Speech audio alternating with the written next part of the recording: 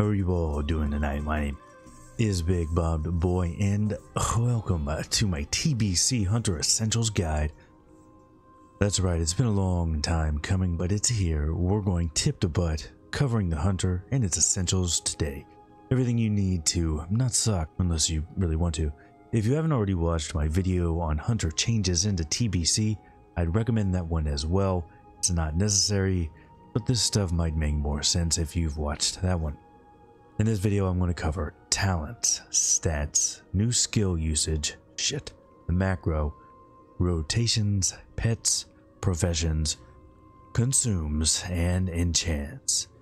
So that means we're not going to cover PvP. I might do that in a future video, but would honestly rather do it a bit into Season 1 because things can change very quickly. Macros and UI. I get asked about that a lot, it'll get its own video.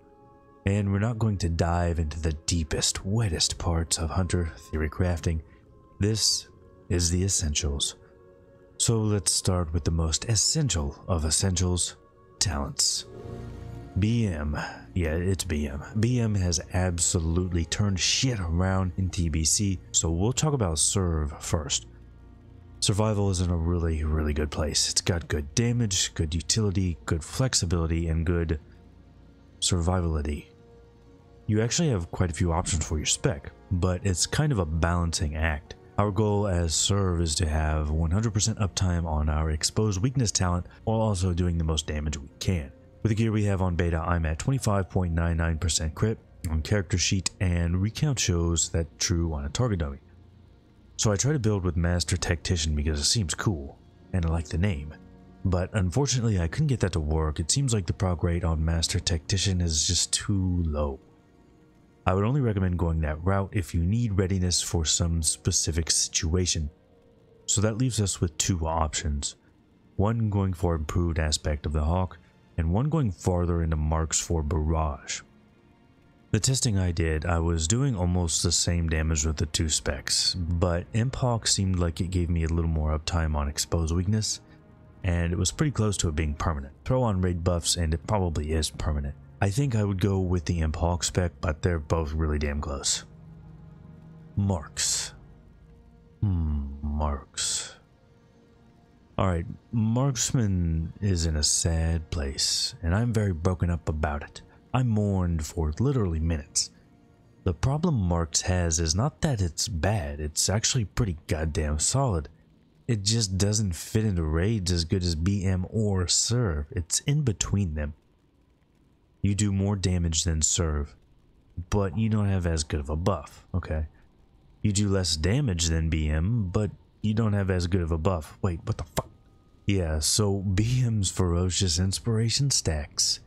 That plus the damage difference makes it worse than BM in literally every raid situation. Unless your pet is completely worthless. That probably won't happen, but if they do some raid tuning and we get a few fights where pets have no uptime or very low uptime, then Marks could have a place. It would outdamage BM and TSA would get some use but right now it's flaccidly relegated to PvP. Beast Mastery. BM is once again certified dope shit. It's actually really easy when it comes to BM talents, and that's how we like it. There's one raid spec, and this is it.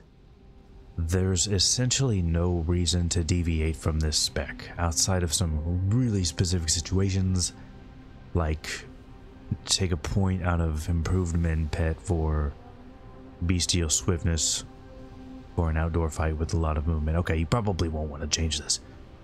Okay, Imp Hunter's Mark is also an important talent I should mention. One hunter in the raid needs to take it, so who should it be? Uh, the one that will do it. Seriously, that's the most important part. Whoever is going to be the hunter that will keep it up and not forget about it. But I'd probably have the survival hunter do it. Stats and gems. You know by now how agility has changed in TBC and we get some new stats. So how does our stat priority fall in TBC? Uh, complicatedly. Obviously hit is still incredibly important we don't want to miss. We'll need 9% for skull level targets. And you can get hit from outside of gear, so don't forget that if you've got a Draenei, improved Faerie Fire, that kind of shit. Now after that, it's agility. This is where most of our gemming will be, even though we only get one ranged attack power per point of agility, is still very strong. And then crit. We have enough crit based abilities like kill command and expose weakness now that crit is even more important than it was in classic. And finally AP, pretty much no reason to gem AP. Even the higher AP PvP gems are likely not worth it for raid gear. Same goes for the JC only one. Okay, so where do haste and ArPen fall? Well, haste is actually really, really good. It might even be better than agi in a lot of cases, but it's complicated. For one, we don't really have haste gear in phase 1. We'll talk about this more in the rotation section, but haste is likely really, really good as long as you know what you're doing. If you don't know what you're doing, you are much better off with agility because it will change how your rotation works. There are also potential breakpoints where it's not a gain to get more haste. Unfortunately, there's only, let's call them basic sims right now.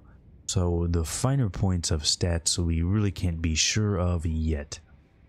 Now Armor Pen is in a somewhat similar situation because there's really no ArPen gear in phase 1. We'll get some with Beast Lord and that's mostly it. So that's something we won't really care about until pretty much Sunwell. Your gems are mostly going to be agi as I mentioned earlier because hunters are, if anything, delicate. Hunter is also lucky in that there is a good heroic gem drop for us from Black Morass. It's agi and hit, nice. We will need two yellow for our phase 1 meta gem Swift Skyfire Diamond so that gem will fit there nicely. Although once it's out, we will want Relentless Earthstorm Diamond. If you do need to fill a blue spot like a good socket bonus, shifting Tanzanite from Heroic Mechanar is probably your best option there. Okay, new skill usage. Let's talk briefly about new skills and how to use them. Aspect of the Viper is easy. It gives us back mana. Pretty simple. For leveling and soloing shit, it's excellent. And really helps with our sustain. But for raids, we really don't want to use this. We want to stay in aspect of the Hawk as much as possible, especially if we're spec for Imp Hawk. If we're not in Hawk and we spec for that, we're basically wasting 5 talent points. Only go into Viper during raids if you're on track to be Um, or situations where there's like downtime and you can't attack. Kill command. So this is a bit of damage coming from your pet every time you score a crit.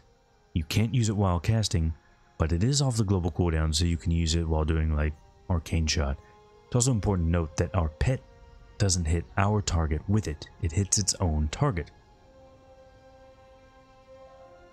It's also very important to keep in mind that this is what's going to set up our 4-piece set bonus for Beast Lord, and that can be a very big part of our DPS. Now, what about macroing kill command into your other abilities?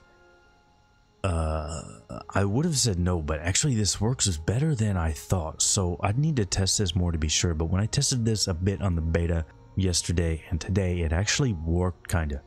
There was a bit of a queuing issue with kill command, but macroing was working if I spammed my buttons. You can probably do this better manually, but macroing was not a total failure, so if you're someone that likes to spam your buttons, you might want to give it a try.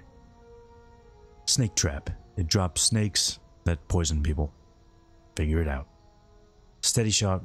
We'll cover that in the rotation section. There's not much to talk about here. It's just a new shot with no cooldown that makes up a big part of our new rotations. Misdirect. Okay, it misdirects the aggro generated by your next three shots onto whoever you misdirected. Sounds simple. You'll generally use this for pulling. That's the most obvious use. Aimed, Distract, Arcane is probably the best option for threat and you can do two of those while moving. But it has other uses. It's not a bad idea to throw it up during fights for extra threat on your tank, as long as you've got the time to do it. It's also great for directing mobs that spawn during fights over two tanks. You can even use it to kill people in your group you don't like. It has a lot of uses when soloing as well. You can park your pet someplace safe, misdirect onto your pet, and then get to wherever the fuck you need to be. You'll do that a lot in dungeon solo farms. Just be careful on AoE situations. It only sends mobs that were hit to your pet. Like this. Usually. The macro. It's dead, okay? Quit asking dead. Absolutely deaded. Alright, so I tried this a lot on stream. I tried a lot off stream. Not one macro worked properly. And I tried at least two dozen different macros. Now, I did get some macros to work about 70 to 80% of the time. So if you're just wanting something to press while you're watching Netflix or doing something that leaves you with only one hand to play WoW, those would be about the only situations worth using a macro, even if it did work 100% of the time. Now that mercilessly drags us into the rotation. Alright, I was trying to avoid it, but it has to be done. The rotation for hunters is just fucked. Look at this. Ugh. I'm not in Hunter for math and graphs and shit. I'm here to shoot things. People have gone crazy with this shit. Honestly, some of these rotations I don't think are even possible. I've tried. What I want to try to do for this video is simplify all of this shit into something that makes sense, isn't overly involved, and actually still does good damage. I want to get you to 90% or more effectiveness. If you want to go that final 10% and really stretch Hunter to the brink of tearing like tissue paper, we can go over that on stream or in another video if there's interest. So similar to Classic, we are basing our rotation around auto shot weaving. We want to do as much shit as we can without clipping auto shots, unless that ends up in a DPS gain. Where I would start is with the one-to-one -one rotation. We're not going to worry about haste yet. This is the most basic rotation we just weave steady shots in between auto shots while doing kill command. It's not hard. Completely unbuffed, I'm doing about 1130 DPS on this dummy. Now, as simple as that rotation is, it's actually important, especially as our haste goes up. Let's try the same thing, but multi-shot replacing a steady shot. Alright, this is also easy and it's also a little bit more damage but at a huge mana cost. Now, it looks like there's a little bit of time after a steady shot. Could we slip in a multi-shot after steady shot? Before the auto shot?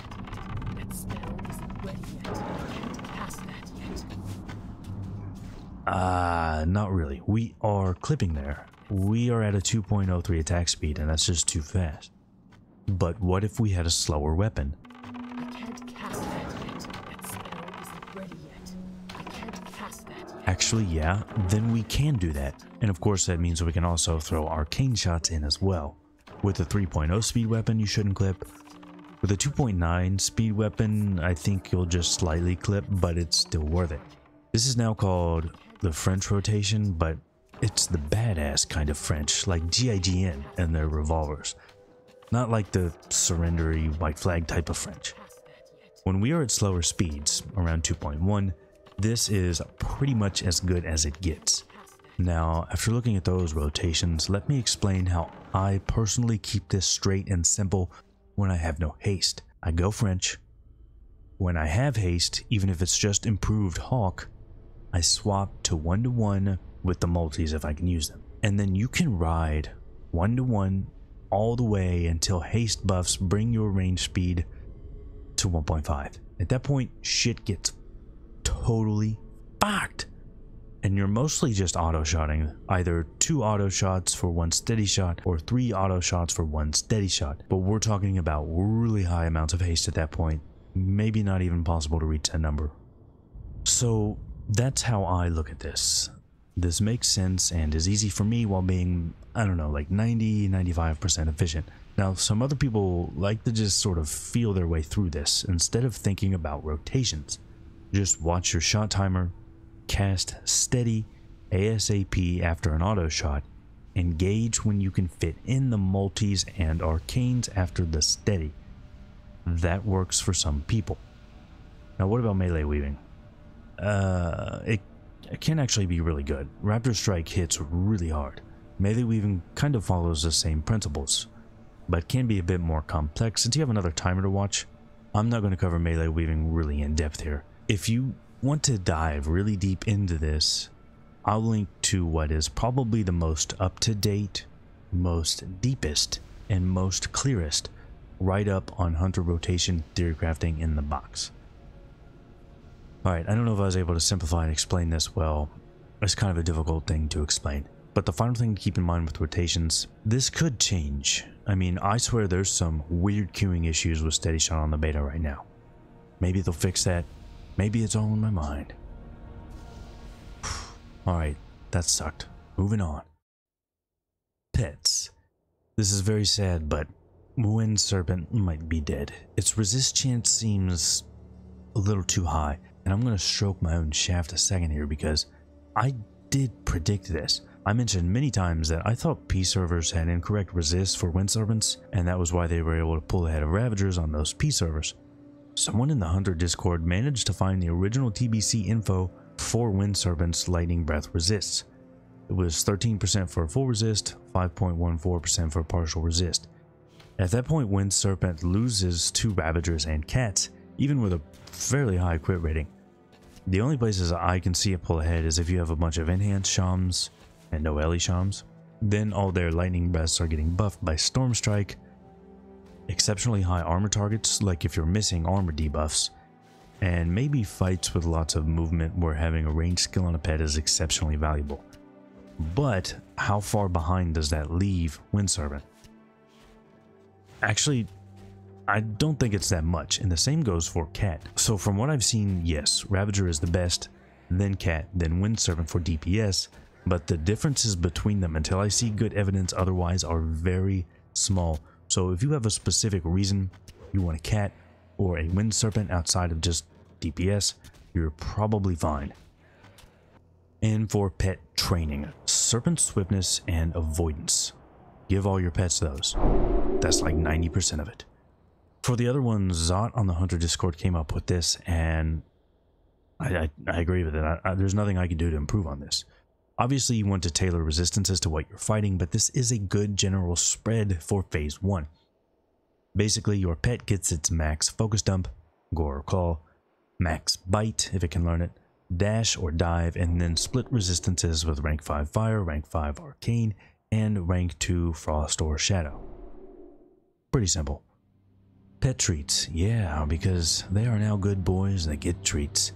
We get Sporeling treats from Sporeggar Rep, but the better one is Kibler's Bits from the Cooking Daily Quests. It's what you're going to want to use. I thought I remembered reading they would be available from Phase 1, but I couldn't find that anywhere on like Wowhead, and I don't have any characters with cooking on the beta, so Kibler's Bits probably are in Phase 1, but it's a small chance they aren't. This guy here gives you the cooking dailies, and the recipe can be in either reward. Professions. Alright, this is a weird one, but blacksmithing is a really strong option. If you're going to melee weave, it's hard to pass up axe smithing. Even when not weaving, the axe isn't incredibly far behind. I'm not going to do this. Fuck leveling blacksmithing. But if weaving is your thing, you'll use your blacksmith axe until Twin Blade from Kael'thas, so that is worth it. Now, for normal people, we've actually got a few options. My money is on engineering. NG still gets a lot of really interesting shit to play around with, like a teleporter, new repair bot, invul belt, rocket boots, all kinds of shit. I'd say NG is also the best profession for solo farming. We get a mote extractor for mote farming, we get Seaforium for popping locked doors, and it even works on locked chests in TBC. We still have bombs, which help plug the ever-present hunter hole, AoE. Phase 2 we get our dope goggles. Plus we can make arrows and bullets, there's no weird trade NPC for bullets anymore. Bad thing is, I don't know what phase the ammo will be in. I checked the vendor that sells the schematic like a lot of times, and it wasn't there on the beta was originally a 2.3 item, so probably phase 2 or 3. But the best thing is, of course, flying machines. Come on, look at that hula girl. Alright, I wish it wasn't a gnome hula girl, but it's, it's the best we got, alright? So, what about that leather working? Uh, it's, it's, it's not great. Now the drums have been nerfed, that was kind of the last dick in the coffin for leatherworking. Primal Strike is pretty good, but it isn't this. And it's only really good when you have the three piece set bonus. Plus, crafting the whole set is going to cost you 18 heavy knot leather. Oh, alright, that's not bad. 3 primal nether. Okay, that's that sucks, but it's doable. And 14 primal might. Jesus Christ! I don't think leatherworking is worth it. If you've already leveled it up, maybe it is for you, but not for me. Alright, obviously we do have two professions, so some good candidates for the other one would be enchanting. It's nothing special until phase 3 because that's when the good ring enchants drop, but it does go well with engineering for soloing shit since you can DE the BOP drops. I would also say jewel crafting. JC is really good because you can make a lot of gold with it, but early phases we're not really going to get any bonuses. The JC specific gem is AP, not agility, that sucks. But really late in TBC, there's an excellent JC only neck that we would very much like to get as hunters. Consumables. Alright, consumes are a lot easier in TBC, and we can thank Hunter Jesus for that. We have one or sort of two main buffs. That's our Guardian and Battle Elixirs. Elixir of Major Agility for Battle, and Elixir of Major Mage Blood for Guardian. Now, don't let Major Agility fool you, it's actually like Mongoose where you gain crit as well. I think about 0.91%. Those two are a good combo. The other option is Flask of Relentless Assault. Flasks count as both elixirs, so you cannot mix these. 120 AP is a lot of AP, but I kind of think the elixirs win here, although it's really close. You have to kind of balance Am I going to get any use out of that mana back? Is that going to let me stay out of Viper? Usually, I would say yes. But as long as you have either of these up, you should be fine. Food buffs are really simple. Grab hit food if you're not hit capped, grab agility food if you are. In TBC, each food buff actually has two versions now, a meat version and a fish version, Warp Burger versus Mudfish. Fish is almost a vegetable, and this one is covered in mud. We are not animals. We will take the warp burgers with a beer. Normal stuff you'd expect is still there, like dark runes, mana pots, scrolls, drums. All that shit doesn't really change. Now, from here, buffs can get a little sweaty. Haste Potion. This is a good DPS potion, but as we talked about in the rotation section, this can be tricky to use, although worth it. You'll want to use this when you already have other haste buffs up, and that probably will push you into the two auto shots, one steady shot, maybe even three auto shots, one steady shot, but maybe not quite that far. Flame cap, these are herbed, and okay, this is a pretty small buff, but you may as well throw them up. The only thing they cool down with is, I think, dark runes and like health stones. And then stones, yeah, this I won't lie, this sucks. So these did change on the beta, but I'll talk about how it works right now. If it changes again, don't get pissed at me, because that might happen. So right now, adamantite weight stones are amazing. Adamantite sharpening stones aren't that great. The difference is subtle. Both grant weapon damage, and both grant crit. But the sharpening stone only grants melee crit. Weight Stone Crit works for our ranged weapons. This means if you are not melee weaving, we are stuck using fist weapons. That is fucked, but it is what it is. We are stuck with fist weapons and weight stones, or melee weaving and sharpening stones. Maybe you could get away with a legacy and not weaving on surv, but uh, probably not. Don't forget the pet food too, that counts as a consumable. Enchants. Thankfully enchants are also not very complicated. Actually, they're really really simple, so I'm just going to read them off briefly here. Head is Glyph of Ferocity from CE Revered Rep. Shoulders, doesn't matter. You can use Might of the Scourge or the Aldor one or the Scryer one. Chest is plus 6 to all stats. Gloves is 15 agility. Bracers is 24 AP. We actually get a decent bracer enchant finally. Pants are Nether Cobra, of course, or Cobra Hide for the broke bastards among us. Actually, early on, Cobra Hide will make more sense. Nether Cobra does take a primal nether. Boots is 12 agility. weapons, we want 220 agility enchants for one-handers, and there's a 35 agility for two-handers. Ranged, actually two, maybe even three decent options. Biznicks is still a thing, and if you're not surv, you might want to use that early on when you've swapped a bunch of gear around and are low on hit. Now, between the other two, Eternium is probably a little bit better, but they're both really good. Eternium recipe does drop in Kara, so it might be a couple weeks before you can get it. I would say it really doesn't matter. They're both close enough that without a good sim, it's hard to say which is better. And a super secret bonus note on Aldor vs. Scryer. So, it it doesn't really matter which way you go. I already did a video on this, and I'd still probably lean towards Scryer. Scryer gets a nice quest belt, Aldor gets a nice quest ring, but both of those are replaced. And even the enchants are very close, with Might of the Scourge probably still being the best if you feel like going back Naxx for it. What is potentially a big consideration though is if you are going to level blacksmithing, it's probably going to be a lot cheaper to level smithing as Aldor, but it could be the other way around. Aldor is going to need a lot of primals, Scryer is going to need a lot of shards. People say Aldor is going to be cheaper, but I don't know. I would assume shards will be cheaper based on how things have played out in Classic, but like Nostradamus, I cannot tell the future. Well, this was supposed to be a short video on the essentials, but it ended up being pretty long. Also, it took forever to make and is coming out mm, just a little bit late, only a few hours before TBC actually launches. Shit. Anyway, I am fucking tired. I have nothing left to give you. Like, subscribe, and other shit. Here's the outro. If you enjoyed the video, hit that sub button, bell, like button. I can't believe launches here button, share button, all that other shit. I appreciate each and every one I get. This channel even has memberships now. You can check them out by clicking the join button right by the sub button.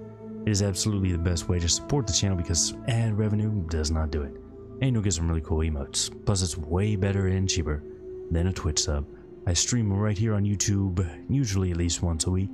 I hope you'll join me. But that is going to be all for this one. I really appreciate you all watching, I will see you all for the next one.